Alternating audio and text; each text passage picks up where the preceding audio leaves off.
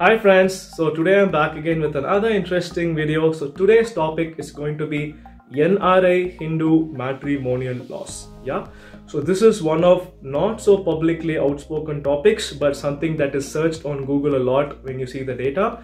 And today we'll be having a special guest. Uh, I'll tell a short intro about it. But before I go on, this video split into two parts. And today uh, we'll cover regarding the NRI Hindu matrimonial laws, the process and dowry, and what others covered you will check at end of this video. So we have a special guest speaker today with us, Mr. Aditya Giri. Yeah, we thank his brother for making this arrangement and also Aditya Giri for finding the time in his busy schedule once again. So Mr. Aditya Giri is a practicing lawyer at the Honorable Supreme Court of India and he's a partner with G Giri and Company, and uh, he pursued his law at CLC Faculty of Law, which is one of the prestigious law institutes in India. So this is in crisp. I'll tell a little bit further on him. So he is someone who believes that everything has a solution. Literally everything. You will feel that when you walk through the complete interview. So, and he majorly focuses especially on high stake employment loss and also family related issues especially across border. So being a second generation lawyer his dad is also a lawyer he had the opportunity in a short span of time to consult a lot of clients regarding say the employment laws and also regarding the family matrimonial issues for NRI clients. And he is a board member or a member of several counseling boards like mediation boards which deals with uh, family related issues. So this is also has been covered exclusively by the media for his contribution towards the field of law. So there are many more which i'll just keep it crisp. You can when you need his support you can definitely uh, contact him. I'll put his details at the end. But let's now go on to the video. And thanks once again aditya giri for giving us this interview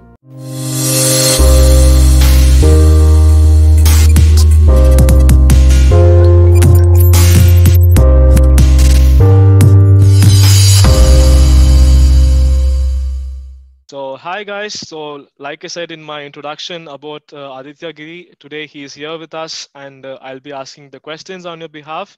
And we have prepared ourselves a lot of questions interesting for everybody.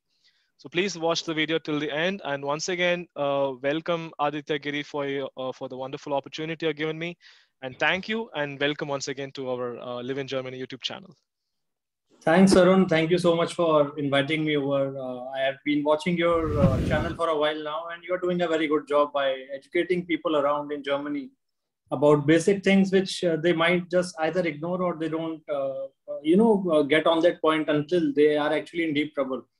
Yep. But you're doing a great job, Arun. So congratulations on that. Thank you, thank you. Actually, your brother helped us to meet, and thanks to him also, Siddharth he's also become a good friend now after we met as a subscriber and YouTuber.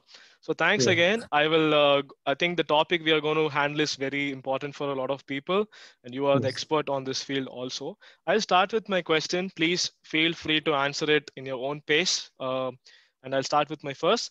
So Aditya, why should people be serious about our today's topic, laws related to NRI marriages? See, Arun, uh, the marriages to overseas Indians are like just any other marriage and may go through the same ups and downs, except that these marriages are governed not only by the Indian legal system, but also far more complex rules of private international laws, in which involves the legal system of the other country. So that is why, uh, you know, uh, when two country laws are involved, people should uh, focus on mm-hmm. important things which they need to take care while going through all this. Okay, okay. So what is meant by this uh, private international laws you just mentioned right now? Like, Arun, uh, private international law is a set of rules which a court would apply whenever there is a case involving a foreign element. So in, in this scenario, if we talk about if either of the parties is a foreigner or one of the uh, parties a foreigner, you know, in that way, a foreign, whenever a foreign law is involved, private international law comes into play. Okay. And uh, private international law is applied to Indian living abroad, which are the NRIs. You know, when they bring a dispute in a foreign court about the matrimonial problems, child custody, movable and immovable property, succession, enforcement of divorce and maintenance decrees. These are all the situation when this uh, law will come into play. Okay, okay, okay. I think that's that's a very good explanation about this uh, private international laws. So I'll go to the next one. Like, what are the typologies of problems which actually comes in NRI marriages, basically, on your experience? See, as far as uh, we have been seeing cases nowadays, the cases uh, take the shape of abandonment of the spouses for various reasons, mm-hmm. domestic violence, mm-hmm. extramarital relationships, yep. delays in the system for acquiring visa immigration, mm-hmm. ex parte divorces. These are certain uh, cases uh, wherein uh, the issues come in NRI marriages. Okay, okay, okay, okay. So Aditya, I, I and one common pre-assumption is there. I also wanted to ask this question. So I mm-hmm. heard that Indian matrimonial laws are pro women. Is it true, and uh, why is it so?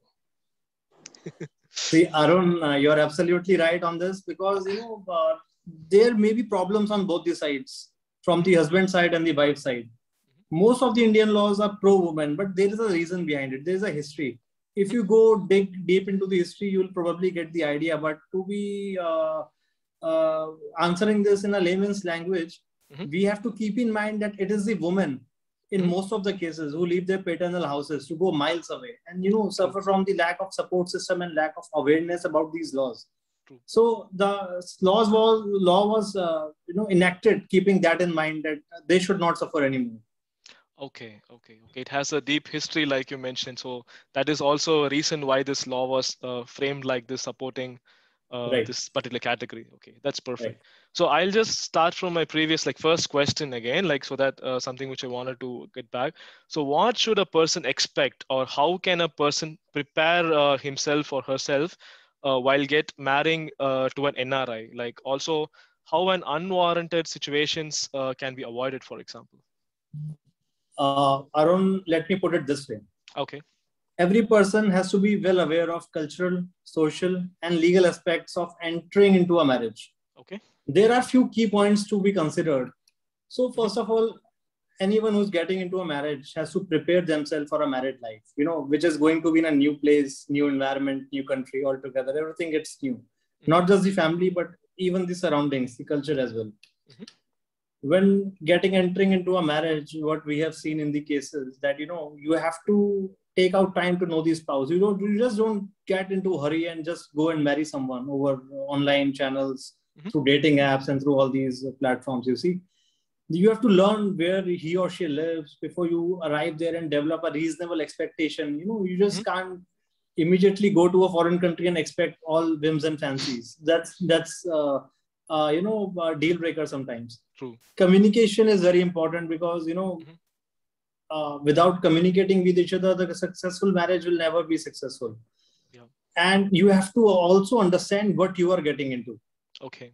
Blindly getting into a marriage will cost you both financially and emotionally trust me. I have yes. seen so many cases. You, you, know mine also. Yeah.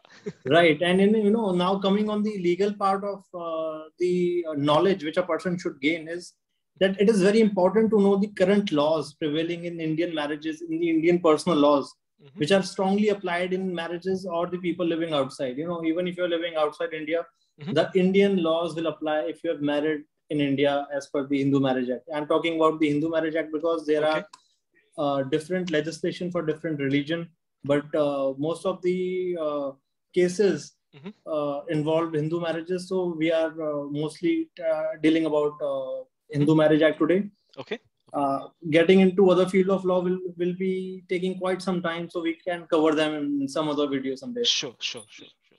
Also, Arun, uh, the term domestic violence, if you have heard about the term domestic yeah. violence, this is also a part of uh, knowledge which every person needs to know because mm-hmm. for you, domestic violence could mean something else. For me, it could mean something else. For somebody, it could mean something else. But you know, what's there in the law it's there in the law tomorrow you can't take the plea that i was not aware that uh, just asking my wife to yep. do certain household chores considers as a domestic violence you know mm-hmm. so the knowledge is paramount here okay. without knowledge you you will always uh, get into trouble so these are the important thing and then you know uh, one more important thing mm-hmm. once you get into a marriage so in, in indian uh, concept if you see mm-hmm. Two people come together they make love they enter into a relationship. Sometimes it don't work they break up and then you know they go apart. Mm-hmm. but once you are married the government comes in between. Then you can't go apart without the permission of the court That's you know? And when that happens it takes almost 5 to 7 to 8 years to get out of a marriage if you are contesting that marriage you have to acquire in-depth knowledge about the Mental Cruelty Act, dowry harassment under Section 498A of the IPC Indian Penal Code. Mm-hmm. So you know uh, these are the thing, and, and and the last last line which I would want to add uh, yep. is that do not misuse laws to get a foothold in another country or to wrongly punish somebody. So the the courts also are well aware that if the rights if the rights are pro woman, if the laws are pro woman, mm-hmm. then there is a misuse as well because where there is power, there is a misuse of power. True. Yeah. So uh, every woman has to take care because you know the rights are for women, and if they are misused in long term, the court will feel that uh, the rights are being misused, and somebody who's in deep need of these laws might get affected because of these kind of someone else's mistake. Yes. True. These are this is a very important uh, point to what you mentioned. Yeah, it, right. it's supposed something made to protect women. If someone misuses and in future it gets modified, it'll affect. It'll not be useful for someone who actually exactly. needs it. Yes, yes, yes. Exactly. Yes. That's a good point. So Aditya, uh, thanks for a very elaborate uh, description on my question. I think this would be really useful for a lot of people uh, your advice on this. So next question is, uh, we spoke about Hindu Marriages Act, for example. So tell me, uh, is registration of marriage compulsory uh, according to law? In India, if you are uh, getting married in India and not going outside, then you know certain states have compulsory marriage registration. Certain states are coming up with certain compulsory marriage registration provisions. Okay. However, if you want to travel abroad, it is very important that you obtain a marriage certificate, Arun, because yep. you know husband and wife have to keep a copy of this registration with them. True. The marriage certificate, as you know, is necessary for obtaining the spouse visa, passport, insurance, bank account, all these points. So it, it's very necessary if you are planning to go abroad after your marriage, then you should definitely get your marriage registered. Mm-hmm. Mm-hmm. Okay, so the I think also for our visas we need to uh, show this, but even other than that, even if somebody is in India, it's definitely good to have a, a marriage uh, registered, right? It's it's important. Sometimes people take things lightly, but you know, uh, registration is is is very important. Okay. Okay. So uh, since we spoke about uh, matrimonial rights, I mean, we're going to talk about uh, Hindu marriages. My next question is, uh, what what are the matrimonial rights of NRI Hindu spouses, for example, and on what grounds a divorce petition may be filed in a court? See, Arun, whether the couple is in India or abroad, okay. the grounds for marriage remains the same. The grounds for divorce remains the same.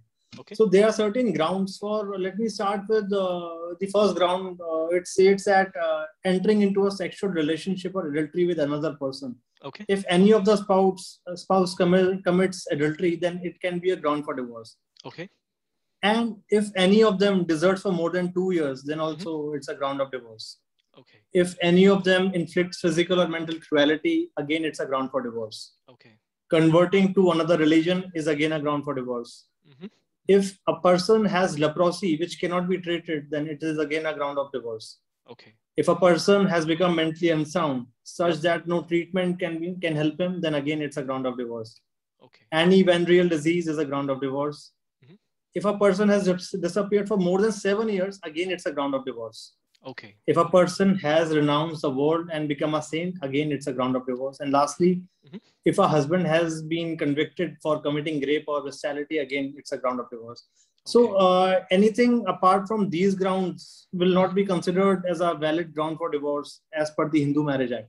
Okay. Whether you take it abroad or in India, I'll come to that point in, in my yep. uh, in your uh, you know further conversation with you. Sure.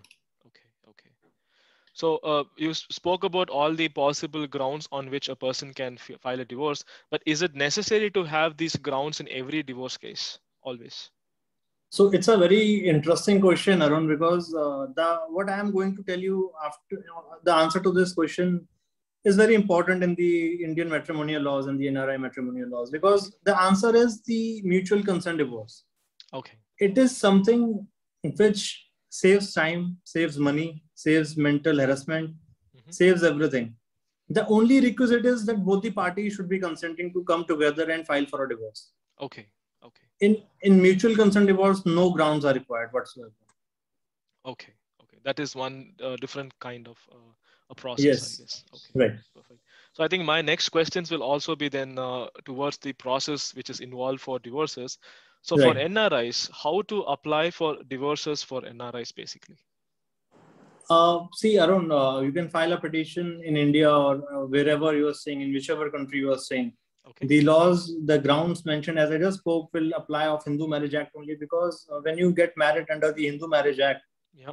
the act states that it will apply to anyone Okay. who is living in the territory of India or outside. Okay. Okay. So the petition, whichever country you go and file, Mhm. should have these grounds.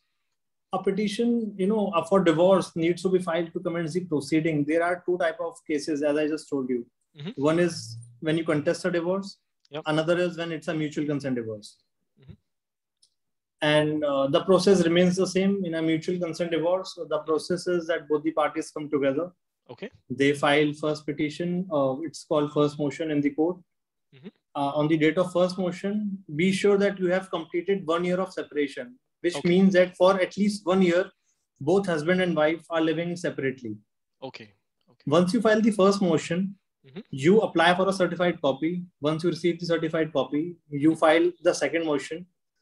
The law previously was that there should be a cool down period of six months between first motion and the second motion. Okay. But after uh, one recent Supreme Court judgment, uh, one application under 151 CPC can be filed along with the second motion petition, Mhm. stating that there is no point of living together uh, because you know the uh, the concept, the mentality behind the six month period was that there might be a situation when both of them gets back get back to your senses and they realize that they're not doing right Okay. and there, there might be some chances of saving the marriage but once you have stayed separately for over a year there there there is no point of again waiting for six months it is only nothing but uh, again a mental clarity on both the True. spouses so second motion can be filed immediately after receiving the certified copy of the first motion along with the 151 cpc application okay. Okay. that is what it is All right. All right. I think uh, this is uh, explains the process for that. And any special rules apply because we are NRIs? Uh no no no such rules are applied in case of divorce between nri couple Okay, okay. So, say for example, the cases, uh, like you said, uh, has been uh, filed in India. So, in divorce case in India, who can be my representative? Because NRIs uh, cannot travel for every time. This is also one thing which is a lot of trouble uh, for the people. So, who can be my representative? Uh, uh, so Arun, let's uh, take an example. Suppose uh, the wife is in Spain, the husband is in USA. Yeah. Both being married in India. Okay. In this case, it will be very expensive for both the parties to come India and do the divorce proceeding.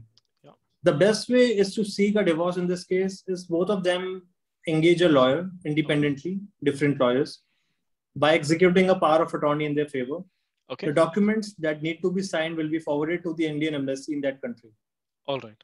All right. but there is a point that uh, at some point of time the couple has to come and appear before the court it's not that uh, it's a total uh, immunity from coming to the courts Okay. but yes it saves the time uh, by you know not appearing in the court of law every time on every date Okay. but during cross hearing examination if, if the contesting parties are there if the parties are contesting for a divorce then they have to come and appear before the court at some time All right. and in mutual consent divorce also at uh, both the on both the motion both the parties have to come Okay, okay. But I think this would this information would save a lot of uh, time and money for a lot of people who have to travel.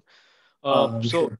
yeah, so you spoke about the process. You s- told about like some divorces could take long. So what is the quickest and painless way to get a divorce and uh, move on with the lives? Arun, as I just mentioned, divorce by mutual consent is the most inexpensive and the best way to get a divorce. And in these uh, mutual consent divorces, Mhm. the the you know loss of reputation is nil because you are not filing frivolous cases against each other. Because the trend nowadays in India is to file frivolous matters. Okay. The moment a girl uh, engages a lawyer Mhm. to file a suit against the husband, the lawyer will definitely file 498 dowry Yeah. harassment, you know, all these matters for no reason, no matter if uh, she can ever prove it before the court or not. Yeah. But just to harass the family of the, you know, husband, these cases will be filed.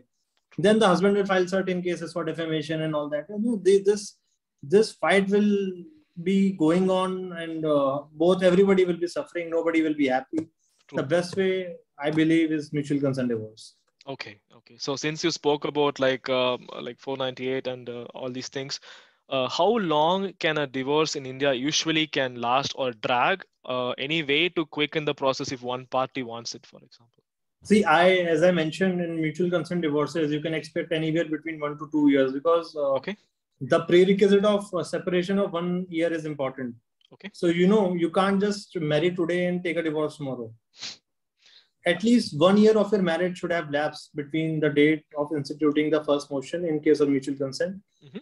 or even if you're contesting divorce no divorce petition can be filed within a year of your marriage Okay. so you have to wait for a year to file any divorce petition.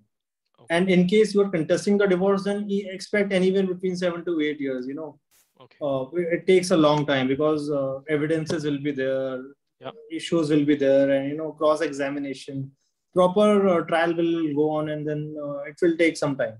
So the average is somewhere around five to six, somewhere seven to eight years, depending on the facts of the cases. Number of cases we have filed against each other, Okay. Okay. Okay. So there are depending on the parameters, uh, the Right. duration of the case can last longer and uh, longer basically okay i think these were the main questions had in that topic i think the next one is very important uh, especially for uh, women so dowry cases yeah i mean dowry related question actually so how to Right. handle dowry related matters smoothly that's the main thing they wanted to know actually See, the the first basic thing to know to handle dowry related matter is to not let it happen at the first place. okay Now, how you can stop getting into a position where you get into a dowry case? Mhm. The answer is education and spreading awareness. Mhm. You know, uh, teaching one to be independent and responsible, and one should not encourage the practice of giving of giving or taking dowry. In the Indian aspect, the Dowry Prohibition Act 1961 deals with dowry in India. okay This act prohibits practice of giving or taking of dowry by either parties to a marriage. okay This law also punishes demanding and advertising dowry. Mhm. This act imposes a duty Mhm. on the parties getting married to make a list of gifts and presents. So, you know, uh, one important thing uh, you should know, Arun, is Yep. uh, whenever somebody gets married, they should get affidavit signed from each other that this is a no dowry marriage. okay. And all the gifts which are shared between each other, they all should be registered. okay okay. Tomorrow so that uh, no false claim can be filed against the husband and no ground can be uh, given to the husband to deny that he has taken some gifts. Okay. Right? Yes yes yes yes yes. I think and you know the dowry prohibition again imposes a duty on the parties getting married Mhm. to you know uh, to not take dowry from either side even if somebody else is being given the dowry to further give it to someone else then again that person will be liable okay okay, okay. and uh, dowry is a very serious crime in relation to dowry dowry death is very uh, significant uh, part of the dowry prohibition act okay and if uh, anything happens in dowry uh, related deaths. There are uh, very uh, strict provision under the indian penal code Okay, okay, okay, okay. I think the first thing is to stop giving and receiving, like you said, very valid point. yes Uh, but for example, since it's been happened already for in this the next question, which I'm going to ask you. So, what proof does a wife has to submit at a court in order to uh, proceed in this matter? see arun in order to prove dowry demand you must have evidences such as letters emails Okay, telephone conversation okay, any record of the communication you had regarding the demand with your parent, sibling, friend, or any anyone who has heard that your in-laws have asked you for money. okay, And these people should be ready to come to the court and depose before the court as a witness that yes, this is true. okay, okay, okay. So they it has to be a well documented or an evidence or a someone has to come and vouch for it. It makes You know, nowadays there are several secret devices to record voices, videos, and everything. Though they can be taken uh, you know, benefit of. So I recently uh, purchased one Alexa uh, show. okay, So in that, uh, I realized that there is a camera in that which can be accessed from my phone. okay, and I can hear and uh, you know uh, it can I can use as a secret camera also. So uh, whenever I get to across certain uh, devices, I always advise my client to take benefit out of it. okay, I think it's it's a good tip. Yeah, I don't have yeah. anything like that. It's right, a really right. good tip. Yeah, perfect. Thank you. I think this would be helpful. Uh, so these were like the I think dowry is a more complicated thing, but we have tried to cover the crisp of the matter. So guys, I think the first part of the interview you have watched if you're here. So we have covered, like I said, the process, the NRI matrimonial laws, general questions, and at last dowry. The next section, we will be covering, for example, alimony, child custody, false police complaints, and at last, if a divorce happens in Germany or any other country, how this is accepted. This video will also be a continuation of NRI Hindu matrimonial laws. I have to say it again and again because there are several categories in India. India is a huge country like you heard in the video. So this will be specific for that. So please watch and make use of this. Those who want support, Aditya Giri is a practicing lawyer all over India. He has a pan-India uh, access. So if you need his counseling or advice or support, feel free to contact him. I will put his details at the description and also you can see the email id now flashing on my screen please mention that you saw the video so he knows that how you have been reached he's a very busy person so we also have to ensure that we uh, ask him the right questions at the right point of time. Thanks once again and wait for the next part. Those who have questions feel free to comment so that we will cover that in another different video uh, in a new way. Thank you and have a nice day